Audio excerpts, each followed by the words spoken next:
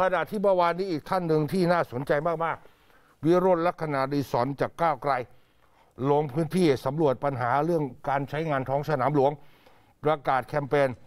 ทวงคืนสนามหลวงให้ประชาชนเนี่ยน้องไบรท์ก็คือจะให้ประชาชนเนี่ยได้ใช้งานสนามหลวงอย่างมีชีวิตชีวาเหมือนที่เคยเป็นนะคะรั้วกั้นเอาออกหมด ประชาชนสามารถทำทุกอย่างได้ที่ถูกกฎหมาย ตั้งแต่เล่นว่าวดูดวงออกกำลังไปจนถึงกิจกรรมทางการเมืองค่ะ พิ่มสิ่งอำนวยความสะดวก ใช่ ม้านั่งก๊อกน้ำดื่ม สร้างห้องน้ำถาวร แล้วก็ขอเชิญชวนประชาชนร่วมกันแสดงความคิดเห็นออกแบบการใช้สนามหลวงในฐานะที่เป็นพื้นที่ของประชาชนด้วย คุณวิโรจน์เดี๋ยวบอกว่าคำว่าหลวงมันหมายถึงประชาชน เป็นของประชาชนใช้เงินภาษีประชาชน เช่น ถนนหลวงไฟหลวง ดังนั้นสนามหลวงจึงเป็นสนามของประชาชน